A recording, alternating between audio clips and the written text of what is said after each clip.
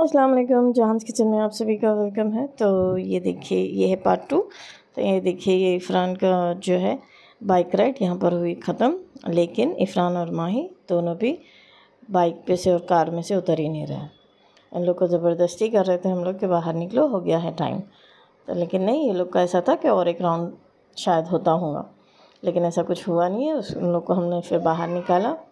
और यहाँ पर जाकर देखा तो मेरे हस्बैंड और मेरे भाई बहन वगैरह सब लोग लगे हुए थे इयर खेलने में। जो कि बीस रुपये में आठ रिंग थी और बहुत ही ज़्यादा पैसे यहाँ पर वेस्ट हुए, बहुत ही ज़्यादा टाइम भी, क्योंकि एक भी गिफ्ट नहीं मिला। तो यहाँ पर ये लोग ये खेल रहे थे और उधर मदीहा अपना अलग ही गेम सोच कर रखी थी कि वहाँ पर उसको वो खेलना है। यहाँ पर बहुत देर तक ये लोग खेलते रहे, लेकिन कुछ भी हाथ नहीं लगा, कोई भी गिफ्ट नहीं मिला।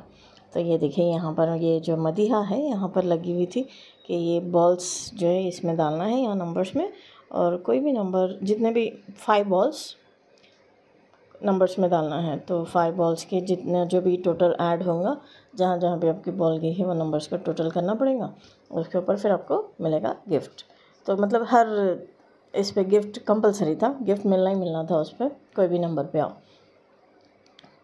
तो यहाँ पर टोटल करने पर गुन्नू को आया था ट्वेंटी वन शायद। तो फिर उसको जो है यहाँ पर एक किताब थी बुक लिखी, उसमें उसमें लिखा था, ये ये गिफ्ट है, ये गिफ्ट है। तो जो भैया थे गेम जो खिला रहे थे बच्चों को, वो भैया ने इसे पकड़ा दिया वॉलेट तो मैं गई और फिर मैंने कहा कि वॉलेट नहीं चाहिए वॉलेट से क्या करेंगे? उसमें और भी लिखा था। कि वाटर कलर वगैरह स्केचेस वगैरह तो फिर उसने वाटर कलर चूज़ किया। तो फिर वो भैया से कहकर मैंने वाटर कलर दिलवा दिया। ये देखिए। तब ये तो बच्चे हैं मतलब जहाँ गाड़ी दिख रही, जहाँ बाइक दिख रही, जो भी उनका खेलने का दिख रहा, वहाँ पर वो लोग जाकर उसमें ज़बरदस्ती बैठे जा रहे थे। तब चलिए बाहर निकलने का टाइम है। तो ये देखिए, यहाँ पर लाइटिंग बहुत ही खूबसूरत दिख रही थी। तो ये देखिए, यहाँ पर भी ये लोग फिर से शुरू हो गए हैं। मतलब मैं वीडियो शूट करने में लगी थी और ये लोग बस पानी में खेलने के लिए तैयार। तो ये देखिए, तब बस अभी अभी घुस ही जाएँगे अंदर ये लोग है। देखिए, सलीम भाई भी हमारे जो है, वो मेरी फ़ोटो लो, मेरी फ़ोटो लो, उधर से माही इधर से मदीहा। ये लोग फिर से वहाँ पर चढ़कर खेलना शुरू कर चुके हैं। ये देखिए, वो तो मेरे वजह से वो लोग अंदर नहीं गए, वरना उनका बस चले तो वो पेड़ के पास जाकर बैठ जाए, पूरी तरह से पानी में।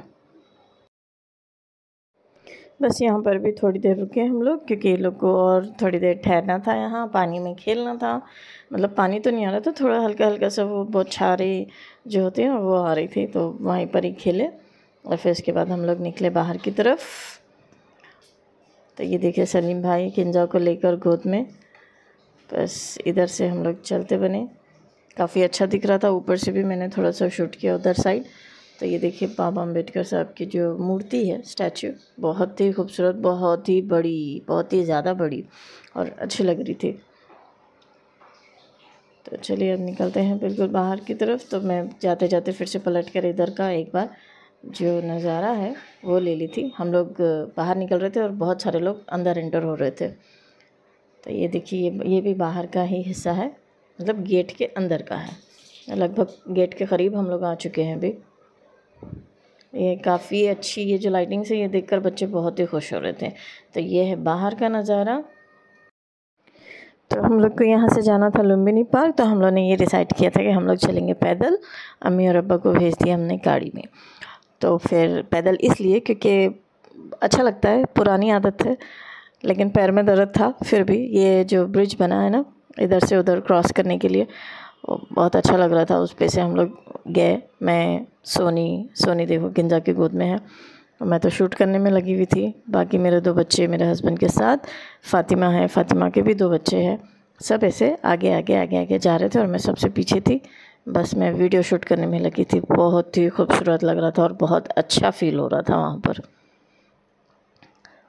तो ये देखिए।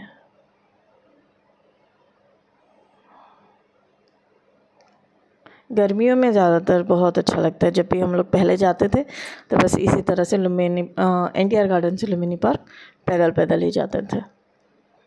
सब कुछ देखते हुए, इधर उधर घूमते हुए, बातें करते हुए तो मतलब पुरानी यादें भी एकदम से ताज़ा हो रही थी। काफ़ी दुकानें इस साइड अभी कम हैं, लुम्बिनी पार्क से मतलब जो जिस तरह, जो फुटपाथ पे से जाते हैं ना, वो वहाँ पर, वरना बहुत सारी दुकानें पहले रहती थी, अभी काफ़ी कम है। तो ये देखिए दोनों। चल रहे हैं और चलते चलते हम लोग पहुँच गए लुम्बिनी पार्क के पास। तो ये बलून्स, वाह, बहुत अच्छा लग रहा था। ये देखिए सेक्रेटेड नया वाला। बहुत ही खूबसूरत, जितना दिन में खूबसूरत लग रहा था, उससे कई ज़्यादा डबल खूबसूरत वो रात में लग रहा था। तो ये देखिए, खिलौना वगैरह की दुकान भी बहुत सारी थी। मेरा इफ़रान तो जहाँ खिलौने दिखे, बस वहीं खड़े हो जाता था। तो ये है तेलंगाना माइट्रीज मेमोरियल, यानी कि अमर वीर उल्लू स्मारकम। तो मैंने सुना है कि ये 45 मीटर्स लंबा है और पूरी तरह से स्टील से बना हुआ है। काफ़ी अच्छा लग रहा था वो भी। फिर उसके बाद हम पहुँचे अंदर। तो यहाँ मैंने देखा कि अब अम्मी सब लोग अंदर हो चुके थे और मेरे बच्चे और मेरे हस्बैंड वो रहे पानी में। मैं उनको ही ढूंढ रही थी कि कहाँ गए ये लोग करके। और देखा तो वो सामने अंदर वो लोग आराम से, ये देखिए, मैं दिखाती हूँ अभी। ये देखिए, मस्त इधर से उधर और उधर से इधर वो लोग घूम रहे थे पानी में।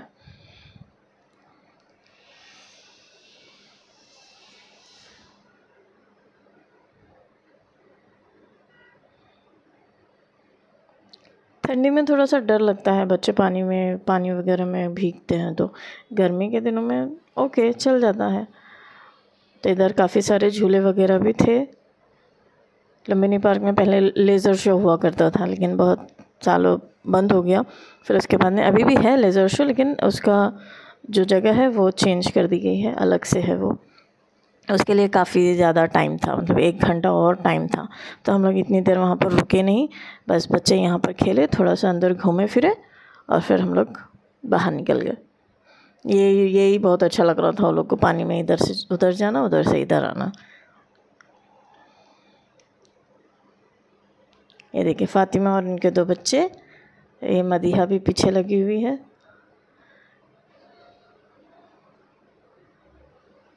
बस, ये इसी तरह से इन लोग का घूमना फिरना इसमें चालू था। बस, देखिए, अंदर भी थोड़े बहुत से दुकानें वगैरह लगी हुई थी। खिलौने की भी दुकानें थी, खाना वगैरह की भी थी, पर उतने ज़्यादा यहाँ पर भीड़ नहीं दिखाई थी, सब सामने ही थे। बोटिंग वगैरह भी चालू थी पर उतनी ज़्यादा चालू नहीं थी। हम लोग इससे पहले बोट में बैठ चुके थे, इसलिए मैंने अब मना कर दिया था बैठने के लिए कि नहीं बैठना है। बस अभी लगी थी भूख, ज़ोरदार। तो यहाँ पर भी बैठ के हम लोग ने डिसाइड किया है कहाँ जाना है, क्या नहीं, किधर जाना है। मतलब घर जाएँ या फिर होटल चले। फिर चली बात होटल की तो खाने के लिए। कौन से होटल जाना है, क्या है, भाई और मेरे हस्बैंड, ये लोग डिसाइड कर रहे थे। फिर हम निकले बाहर। और ये देखिए बिरला मंदिर दिख रहा है उधर से वाइट वाइट यहाँ पर से फिर से मैंने एक बार यहाँ का फिर से पूरा सा वीडियो ले लिया, थोड़ा थोड़ा सा। तो फिर हम यहाँ से निकले और डायरेक्ट पहुँचे होटल खाना खाने के लिए होटल कैपिटल सही से मैंने वीडियो भी नहीं बनाया उसका। क्योंकि बहुत थक चुके थे और काफ़ी भूख भी लग चुकी थी। फिर तो पहले हमने सबसे पहले ऑर्डर किया ये प्लेटर जिसमें थे प्राउंस और फ़िश और चिकन के दो तीन डिशेस साथ ही में तंदूरी रोटी और बटर नान भी। तो पहले हमने यही सर्व करवाया और यही खाया। इसके बाद में ये रोटी के साथ हम लोग को ग्रेवी वाली सब्ज़ी चाहिए, कैसे भी। तो फिर उसके बाद मटन मोगलाई भी मंगवाए थे। इफ़रान प्रॉन्स नहीं खाता है घर पर, लेकिन यहाँ पर उसने टेस्ट किया तो उसको ये पसंद आया। प्लेटर्स में उसको पसंद आया। तो ये देखिए, ये मटन मोगलाई भी हमारा आ चुका था। फिर इसके साथ हमने रोटी खाई, फिर बिरयानी को कैसे भूल सकते थे? तो फिर बिरयानी भी आ गई हमारी। बहुत ही ज़बरदस्त, बहुत ही टेस्टी अलहमदिल्ला सब लोग अच्छा पेट भर कर खाए। और सलीम को खाना था कुनाफा तो फिर कुनाफा भी ऑर्डर किया गया और ये आ गया हमारा कुनाफा। तो अलहमदिल्ला सब लोगों ने पेट भर कर खाए और झटपट से हमने खाना ख़त्म किया और घर जाकर आराम किया। बहुत थक गए थे, इसीलिए। और फिर नेक्स्ट डे हम लोग पहुँचे चार मीनार चार मीनार हम लोग गए थे तकरीबन दो और ढाई के बीच, क्योंकि उसी टाइम मार्केट अच्छा खुल जाता है आराम से। तो सब लोग नहीं गए थे, मैं, सोनी और फातिमा किंजा और ईजान बस हम तीनों चारों ही गए थे, बच्चों में ये दो ही थे, बाकी सब घर पर थे। पूरा घर का काम वाम निपटाए दिन भर और दो बजे तक खाना वगैरह खाकर फिर हम लोग निकले। शॉपिंग के लिए वो थोड़ी बहुत शॉपिंग की, ज़्यादा नहीं, हल्की फुल्की बस थोड़े से चूड़ी, कंगन वगैरह ही लेना था और कुछ नहीं, कपड़े तो हम लोगों ने नागपुर से ही ले लिए थे। तो ये देखिए यहाँ पर जो दुकानें हैं कॉस्मेटिक्स की दुकानें बहुत ज़्यादा लग गई है। बहुत ही अच्छे, बहुत ही अच्छा लग रहा था। पहले जितने गाड़ी वगैरह, ऑटोज़, बसेस, वो जाते थे चार मीनार की तरफ़, अब उधर का एरिया जो है बंद हो चुका है। अच्छा लगा वो देखकर। ये पहले से ही था, चार पाँच साल हो गए हैं इसको बंद होकर। तो ये देखिए, काफ़ी अच्छा दुकान है पैदल पैदल जाओ आराम से। मतलब तुम दुनिया शॉपिंग कहीं पर भी कर लो, पर चार मीनार एक ना एक बार ज़रूर जाना चाहिए शॉपिंग के लिए छोटी मोटी सही जैसे कि चूड़ी वगैरह, कंगन ले लो सैंडल्स पर्स हर चीज़, सब कुछ सब कुछ सब कुछ मिल जाएगा। वो खुशी अलग ही होती है वहाँ चार मीनार की शॉपिंग करने की। तो हम लोग बस यहाँ पर दो तीन घंटे ही थे। दो तीन घंटे में वहाँ ही घूमे, फिरे थोड़ा सा सब कुछ देखा, चूड़ी कंगन वगैरह भी लिया। सब लोग देख रहे थे इतनी भीड़ में व्लॉग बनाना मतलब बहुत ही परेशानी वाली बात। अच्छा एक्सपीरियंस था लेकिन मेरे लिए। डर लग रहा था कि कहीं कोई बोल ना दे कि ये क्या बना रहे हो, क्यों वीडियो ले रहे हो करके, लेकिन किसी ने ऐसा कुछ नहीं कहा।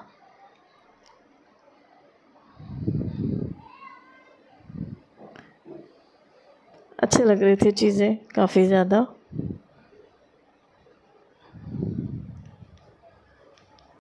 चार मीनार जाने से पहले बहुत सारे चीज़ें दिमाग में आ रही थी, ये लेना है, वो लेना है, ये लेंगे, वो लेंगे, देखेंगे और नया क्या है, ये क्या है। पर जैसे ही मतलब चीज़ें देखो ना वहाँ पर चाहे चूड़ी कंगन हो या फिर ऐसे नेकलेसेस हो एक्सेसरीज हो हेयर एक्सेसरीज हो या इयर हो तो फिर उसके अंदर दिमाग ऐसा हो जाता है कि ये ले या ये ले। मतलब समझ ही नहीं आता है कुछ के क्या लेना चाहिए और क्या नहीं। तो बहुत सारी चीज़ें वहाँ पर थी लेने लायक। मतलब पुराना बिल्कुल जैसा का वैसा ही। पहले भी ऐसे ही जाते थे हम लोग। कुछ भी छोटा सा भी फ़ंक्शन अगर घर में होता तो चार मीनार जाना है सैंडल लेना है, या चूड़ी लेना है, कंगन लेना है। बस निकले, तैयारी करे और निकले। दोनों बहनों के साथ या फिर अम्मी के साथ। तब किराया भी थोड़ा कम था। चार मीनार आने के लिए ऑटो का अभी बहुत ज़्यादा बढ़ गया है। देखिए स्काफ वगैरह भी थे वहाँ पर। बहुत सारी चीज़ें थी। एज़ यूजल पहले की तरह ही। उतना ही खूबसूरत दिख रहा है चार मीनार लोग भी काफ़ी थे, भीड़ भी काफ़ी थी, हमेशा की तरह। ये बात अलग है कि रमज़ान की रौनक अलग ही होती है वहाँ पर, लेकिन हमेशा की तरह जितनी भीड़ होती है चार मीनार पे, आज भी वही भीड़ थी। ये देखिए नेकलेसेस ये इसका रेट था two hundred two two fifty two fifty rupees का पर था ये। मैंने काफ़ी चीज़ों के प्राइजेस पूछे। ये नहीं लिया, मैंने दूसरे वाले लिए थे, गुन्नू मदिहा और शिफा के लिए।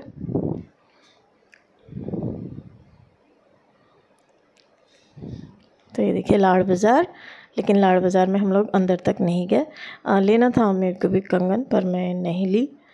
मैं मुड़ गई इस साइड में, वहाँ पर अच्छे दिख रहे थे।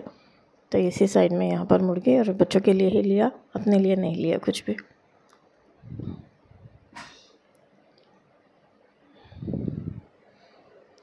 ये देखिए यहाँ का अच्छे लग रहे थे, ये कंगन बहुत ही प्यारे लग रहे थे। दूर से ही काफ़ी अट्रैक्ट कर रहे थे तो मैं इधर ही गई।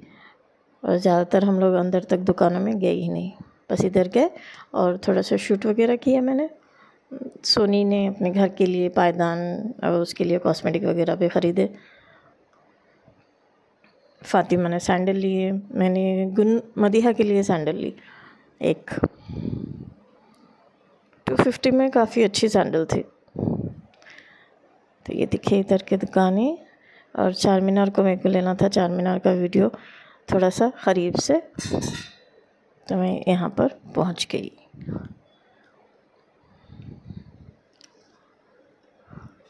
जल्दी जल्दी इसलिए भी कर रहे थे हम लोग क्योंकि हम लोग एक तो आए थे ढाई बजे के टाइम पे और मगरिब से पहले पहले हम लोग को घर भी पहुँचना था क्योंकि ये मेरा लास्ट डे था हैदराबाद में।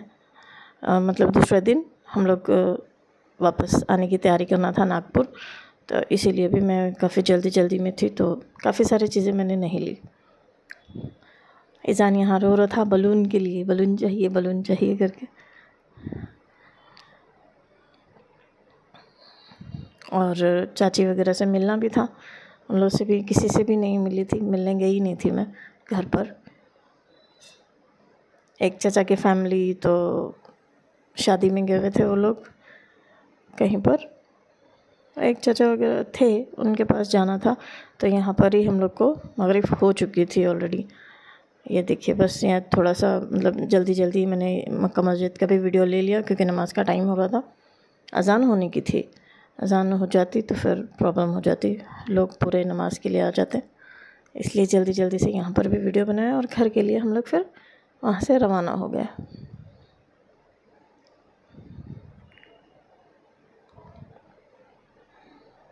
अंदर तक नहीं गए। काफ़ी इधर भी भीड़ थी और टाइम भी बहुत हो रहा था। घर जाना था इसीलिए। बस यहाँ से बाहर से ही मैंने वीडियो बना लिया इसका। अगली बार इंशाल्लाह क्योंकि हम लग, जाना आना तो हमेशा का लगा ही है। और भी बहुत सारी चीज़ें हैं।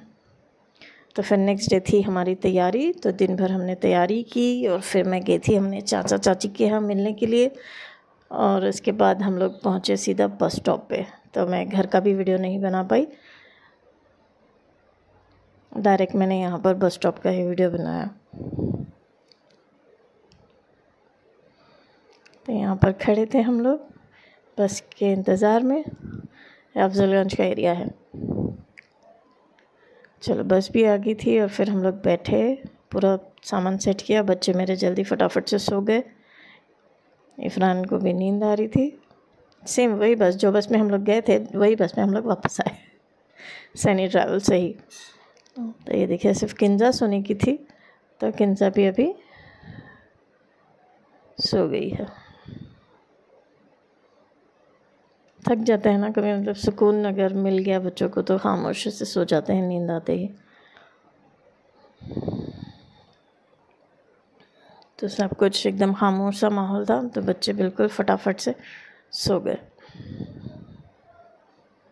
इंशाल्लाह फिर कभी जाएँगे हैदराबाद में। वैसे तो बहुत सारी चीज़ें हैं घूमने लायक और भी बहुत सारी चीज़ें हैं। मेरे बच्चों को भी दिखाना है। देखिए, रात भी गुजर गई और सुबह हम लोग पहुँच चुके हैं नागपुर और बस हमारा स्टॉप आने ही वाला है। तो ये है राहटे कॉलोनी वाला एरिया।